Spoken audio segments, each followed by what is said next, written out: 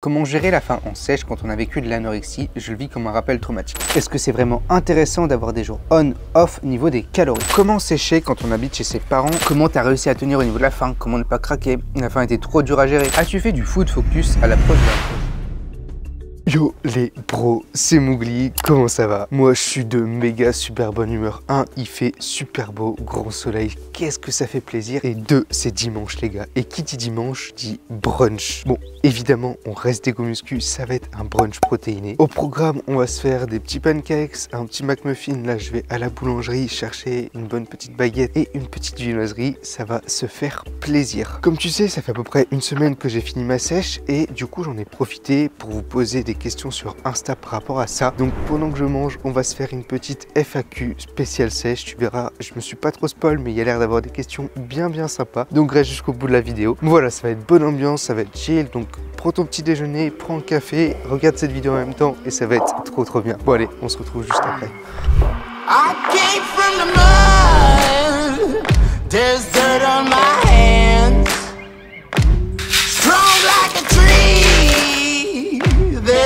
that's where I stand. Oh, I've been running from the law. Hope they won't shoot me down soon.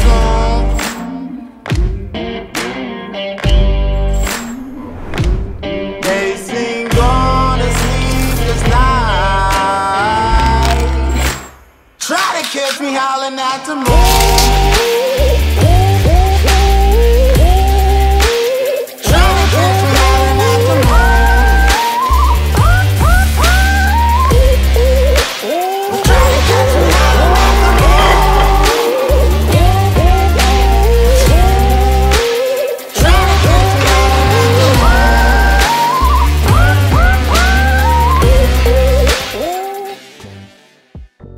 Et relais bro, bordel j'ai trop faim, je te présente quand même le brunch. Donc là on a des petits pancakes chocolat blanc avec sauce peanut butter, ce chocolat zéro calories. On reste quand même au minimum healthy. Je te mettrai de toute façon toutes les macros juste après. On en a pour un petit paquet quand même, mais c'est mon entre seul repas de la journée. Je remangerai un petit peu après ma séance le soir. Bref, c'est pas le sujet de la vidéo. Ici on a des petites tartines beurre de cacahuète et confiture qu'on va rassembler en mode sandwich. Dites-moi les gars si vous validez ce combo beurre de cacahuète confiture c'est une dinguerie. Le petit McMuffin et là, la touche, ma viennoiserie préférée les gars, un petit choco crème. C'est une brioche suisse mais avec une pâte à brioche et pas une pâte feuilletée. C'est une dinguerie, je vais me régaler.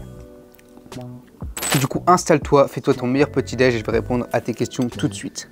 Première question qui nous vient de Louis Briquet, combien de prot par kilo de poids de corps? Alors ça va dépendre de ton temps de pratique, de ton taux de masse grasse, etc. Mais on va dire qu'en règle générale, tourne entre 1,8 à 2,2 grammes par kilo de poids de corps, c'est très bien. Donc par exemple, si tu pèses 80 kg, essaye de manger environ 160 grammes de protéines par jour. C'est une bonne base pour se référer. Quand tu es en sèche, vaut mieux avoir un taux de protéines assez haut quand même. Deuxième question, est-ce que c'est vraiment intéressant d'avoir des jours on-off niveau des calories? Alors ça, ça dépend pareil de ton temps de pratique. Quand tu es débutant, te focalise pas là-dessus toi juste d'être en déficit calorique. Après, quand tu commences à avoir un peu plus de niveau, je trouve que c'est vraiment intéressant. Pourquoi c'est intéressant? Quand tu es en sèche, tes lipides, tu peux pas trop les bouger. Ok? Pour rester aux alentours des 0,8, 1,2 g par kilo de poids de corps. Mais du coup, avec des lipides qui restent fixes, ça veut dire que à un moment donné, tu vas tomber très bas en glucides. Qui dit très bas en glucides dit pas beaucoup d'énergie. Et du coup, pour compenser ça, en fait, ce qu'il faut que tu fasses, c'est que sur tes jours on, tu vas mettre un peu moins de lipides, un peu plus de glucides pour pouvoir justement avoir plus d'énergie pendant tes entraînements. Et du coup, sur tes jours off, tu compenses les lipides que tu as perdus sur tes jours on et tu les rajoutes. Ce qui fait que sur tes jours on, tu seras assez haut en glucides, assez bas en lipides.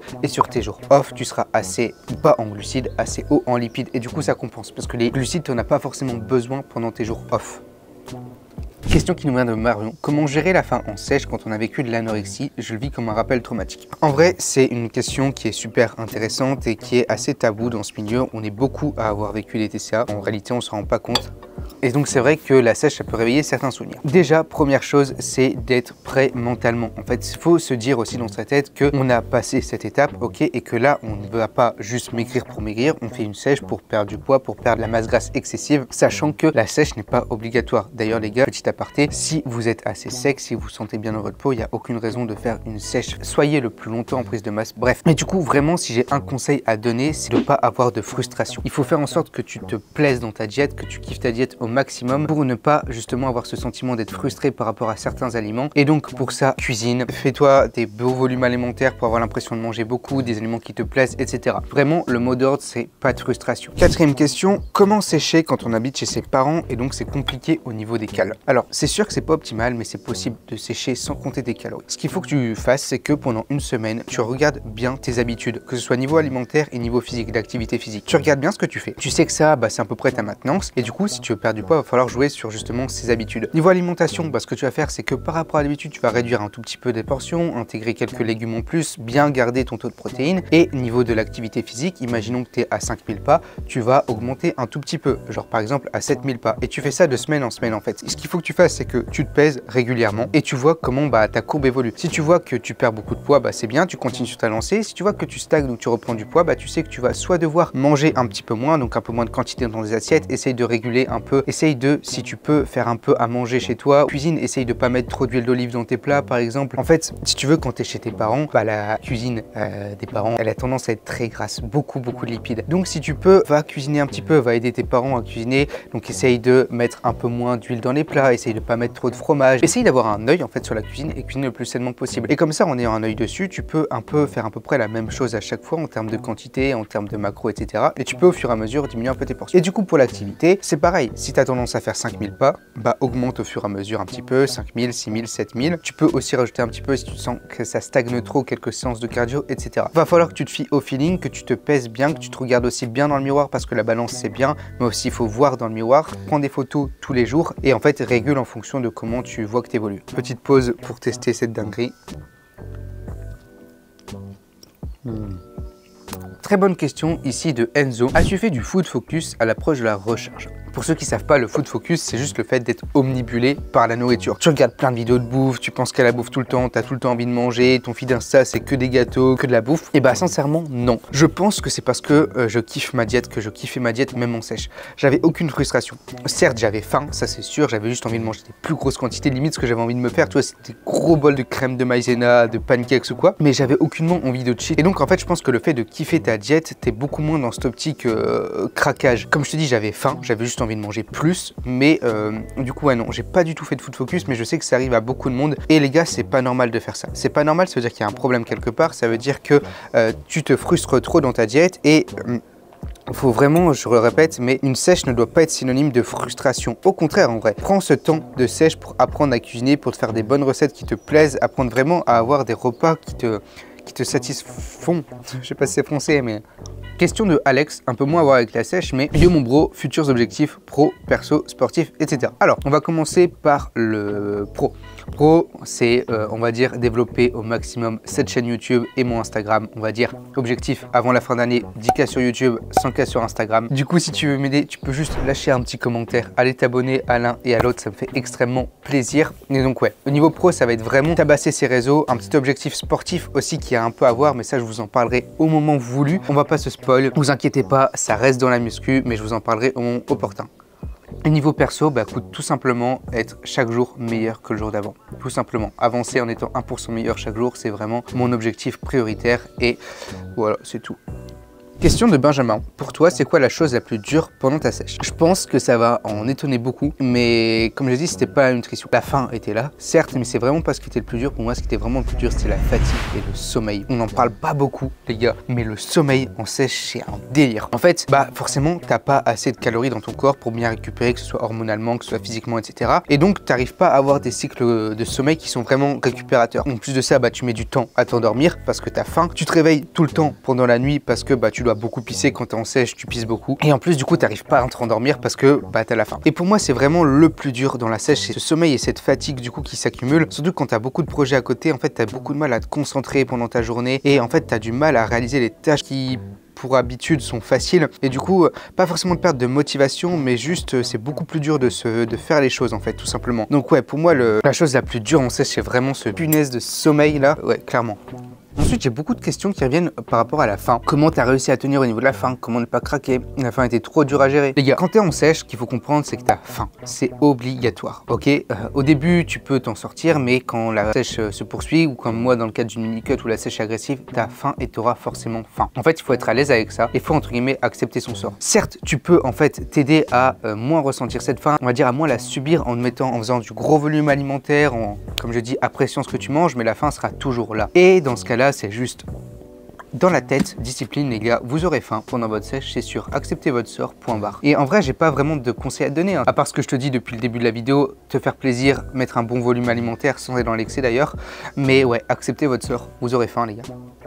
Là, c'est pas une question, mais un truc qui me fait vraiment plaisir et qui revient beaucoup. Salut Louis, juste pour te dire que t'es top, lâche rien et tu iras très loin. Les gars, je voulais vraiment vous remercier, j'ai énormément, énormément de messages de soutien de votre part, comme quoi mon contenu vous inspire, comme quoi vous aimez ce que je fais. Et en vrai, ça me fait mais, tellement plaisir, vous imaginez pas. J'ai commencé justement les réseaux pour vous motiver, pour vous inspirer, pour partager un peu mon histoire, ma passion, etc. Et en fait, bah, ça vous plaît de fou et j'ai des super bons retours et je pouvais pas rêver mieux. Donc juste, je voulais prendre ce petit temps pour vous remercier sincèrement. J'ai une en or, vous êtes vraiment des boss. Aucun hater, que du love, ça fait trop plaisir donc merci beaucoup à tous. Question de Alexis. T'es plus à augmenter le cardio ou baisser tes calories ou un mélange des deux? Question très intéressante et en vrai l'un ne va pas sans l'autre. Moi j'aime bien c'est vraiment toucher aux deux. Tu commences par une baisse des calories, ok, plus ou moins drastique en fonction de ton objectif, en fonction du type de sèche, mini cut ou sèche sur longue durée. Et en fait une fois que tu euh, baissé ces calories, t'attends, ton poids va descendre, va descendre, et à un moment il va atteindre un palier, il va stagner, c'est normal. Dans ce cas-là, moi je te conseille c'est de augmenter un petit peu ta dépense. Ça peut être tout con, mais imaginons que tu étais à 5000 pas par jour, tu vas passer à 7000 pas par jour. Et ainsi de suite. En fait, tu vas faire un coup tes calories, un coup ta dépense. Et au niveau de ta dépense, donc tu peux jouer sur tes steps, tu peux jouer sur ton cardio aussi, tu peux faire du cardio après ta séance, etc. Juste par rapport à la dépense, je voulais faire une petite aparté sur ça. N'allez pas dans l'extrême parce que je sais qu'en ce moment, c'est la mode de faire des 15, 20, 30 000 pas par jour. Les gars, soyez raisonnables. Entre 10 et 15 000 pas par jour, c'est largement suffisant. Au-delà, alors, un, ça va vous prendre beaucoup, beaucoup de temps, du temps que vous pouvez investir euh, dans d'autres choses. Et de deux, du cardio à outrance, ça va vous fatiguer. Et ça, c'est surtout pour ceux qui font du cardio à haute intensité tous les jours. Vous allez faire votre cardio, très bien, vous dépensez vos calories. Vous allez tellement défoncer le reste de la journée que vous allez plus bouger. Vous allez vous être affalé sur votre canapé devant votre bureau. Et euh, c'est tout con, mais des fois, quand tu es devant ton ordinateur, juste tu prends tes jambes. Moi, je sais que souvent, bah, mes jambes elles bougent, tu vois. Tu bouges un peu tes bras, tu hoches ta tête. Enfin bref, tu fais des petits mouvements. Et en fait, quand tu es trop crevé, bah, tu fais plus rien. Et c'est tout con, mais c'est tout petits mouvements à longueur de journée. Et ben en fait, c'est des calories. Donc, faire trop de cardio, ça, va, ça peut être contre-productif. C'est juste une petite aparté. Question très intéressante ici comment gérer les fluctuations de poids de jour en jour? Ça, c'est très important. Ce qu'il faut savoir, c'est que tu peux te peser tous les jours et ton poids peut varier extrêmement d'un jour à l'autre. En fait, en fonction de ce que tu as bu la veille, de ce que tu as mangé la veille, de combien de sel tu as mangé, comment tu as été aux toilettes, comment tu as dormi, le stress que tu as eu, bref, il y a plein de facteurs qui peuvent faire que d'un jour à l'autre, tu peux prendre ou perdre un kilo, mais c'est absolument pas un kilo de gras, ça va être principalement de l'eau, de la rétention d'eau. Donc, ce qu'il faut faire, ce qui est important, c'est pèse-toi tous les jours et fais une moyenne à ta semaine. Ne prends pas trop en compte les fluctuations du jour en jour, mais la courbe que ça va faire. Et en fait, tu verras que si tu te pèses tous les jours, tu auras une courbe. Et donc cette courbe, elle peut être montante, descendante ou elle peut stagner. Si elle est montante ou stagnante, c'est qu'il y a quelque chose qui ne va pas dans ta sèche. Dans ce cas-là, il faudra veiller à baisser un petit peu tes calories ou augmenter un petit peu ton, ta dépense. Vraiment, ne paniquez pas si d'un jour à l'autre, vous avez pris 1 kg, 500 grammes. C'est principalement de la rétention d'eau. Tu prends pas 1 kg, 500 grammes de gras en un jour. Ok? Donc, fais cette moyenne à la semaine et adapte de semaine en semaine tes calories si besoin. Combien de poids peut-on perdre avec une sèche agressive sans craindre une fonte musculaire? Merci et bravo pour ton travail. Alors, je peux pas te répondre comme ça, tout va dépendre de ton poids de base, mais en règle générale, je conseille de pas perdre plus de 500 grammes par semaine. Au-delà, c'est vraiment beaucoup et tu peux vite justement taper dans le muscle. Après, ce qu'il faut savoir, c'est que au plus tu vas pousser ta sèche, au plus tu risques de taper dans le muscle. Et c'est aussi pour ça que j'ai pas poussé ma sèche à l'extrême parce que avec une sèche qui était drastique comme ça, j'allais très vite taper dans mon muscle et je commençais vraiment déjà à me sentir plus plat, etc. Et je sais que si je continuais plus loin, bah j'allais risquer de taper dans le muscle et c'est vraiment pas ce que je voulais. Donc n'allez pas trop loin dans votre sèche si vous n'avez pas d'objectif de compétition. Euh, quand vous voyez que vous êtes lean, que vous avez euh, commencé à avoir quelques stries sur les pecs, euh, sur les abdos, les veines apparentes, c'est le bon moment. Après, c'est surtout faut se fier aussi à comment ça sent là-dedans. Si tu sens que tu es extrêmement fatigué, que tu n'arrives plus à rien dans tes journées comme moi j'étais à la fin, c'est le moment d'arrêter. Si vous n'avez pas d'objectif de compétition derrière, ça sert à rien de pousser trop loin, c'est même dangereux pour la santé. Bon, je sais pas on a combien de temps de vidéo, mais euh, je vais pas trop trop tarder. En plus, je pense que la caméra elle va bientôt mourir. Niveau entraînement, ça change quoi d'être en sèche ou en PDM Alors les gars, ça change strictement rien. Vous devez vous entraîner de la même manière en sèche ou en prise de masse. Et même en sèche, je dirais que vous devez mettre le plus d'intention, d'intensité possible. Il n'y a aucune raison de changer ton entraînement en sèche ou en, prise de masse. Euh, l'objectif est le même, l'objectif est de mettre l'intensité maximum et le plus de tension sur tes muscles. Donc ne change pas ton entraînement et veille malgré la fatigue à garder une certaine intensité, enfin l'intensité maximum que tu puisses. Justement, c'est en mettant cette intensité que tu vas perdre le moins de muscles possible, que tu peux même en prendre si tu es débutant d'ailleurs. Euh, donc niveau entraînement, ça ne change rien. Voilà, tout simplement. Ici aussi, tes recettes préférées spécial jet sèche pour éviter la frustration. Les gars, vous avez plein de recettes sur mon compte Instagram, donc vas-y. Mais là, je suis vraiment en train de travailler sur un petit book de recettes euh, qui devrait sortir d'ici quelques temps euh, avec beaucoup de recettes de sèche et qui pourra bien vous aider parce que comme je dis, c'est super important de te faire plaisir en sèche et donc faut que tu trouves des recettes qui te plaisent avec des macros qui rentrent dans ta diète et donc je suis là pour ça.